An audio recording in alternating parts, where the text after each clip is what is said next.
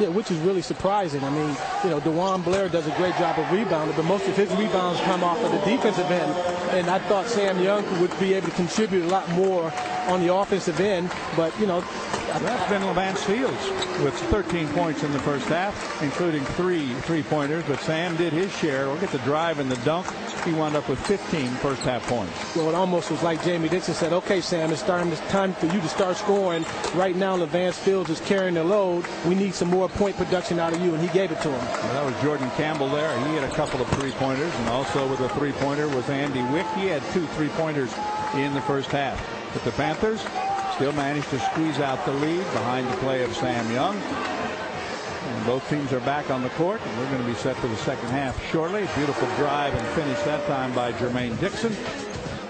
Statistically, it looks like this. See the difference Curtis talked about in the rebounding. As I mentioned, only four offensive boards for the Panthers today.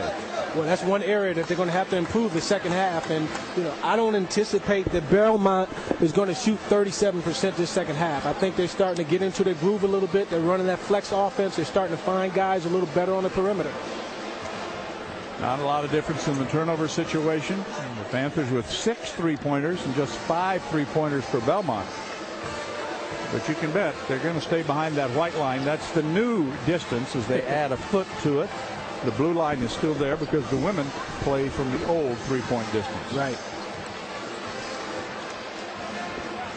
McGhee got to start tonight in the absence of DeJuan Blair, who had some swelling on his knee. And there you see the big fella, or fella as they call him. Got a little limp to his step. Now, that's one of the few times I haven't seen him smile. Uh, whenever he plays a basketball game, he's all smiles. Yes, he is. And the first time on the court in the regular season for Gilbert Brown, a guy that's been waiting for a while to get his chance. We've got 20 more minutes of basketball. There's that smile.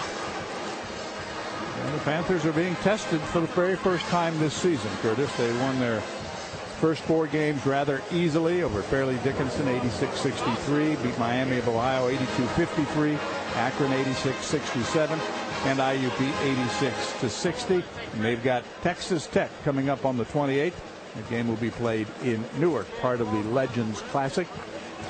Well, I, I anticipate Pitt not only this year, but traditionally has been a second half team under the leadership of Jamie Dixon. They've always come out and gave more of an effort on a defensive end in the second half, and the point production is usually better the second half.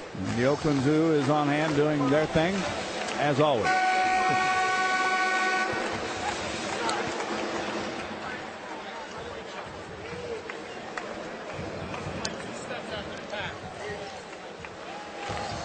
Belmont will go with the same starters that they began the game with.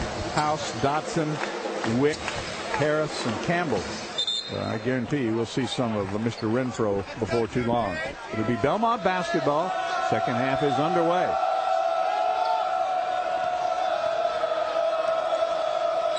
Three-pointer on the way. Bending out.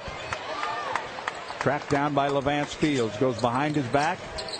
So crafty with the ball. Wanamaker getting the start in the second half for Pittsburgh, along with Dixon, Young, and Big. I think Jamie Dixon decided to go with a smaller lineup the second half to guard the perimeter a little better.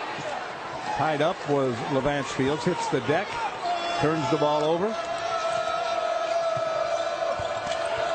In the lane, bending it in off the glass, and good is Keaton Belcher.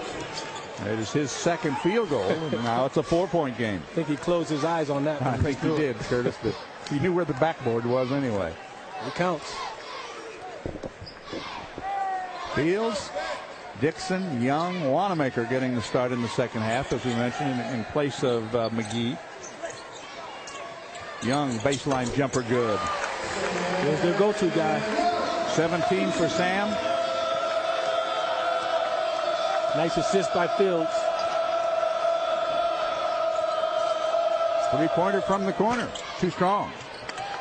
Dixon with a rebound for the Panthers. He'll start back. Left-handed dribble. Sets up in the corner to Wanamaker. They tried to go inside to Young. Couldn't hang on. Out of bounds. So second turnover early on in the second half for the Panthers who lead by six. Interesting story about Rick Byrd. after practice yesterday. Excuse me, after practice today. Good backdoor play and a nice finish with the left hand by House.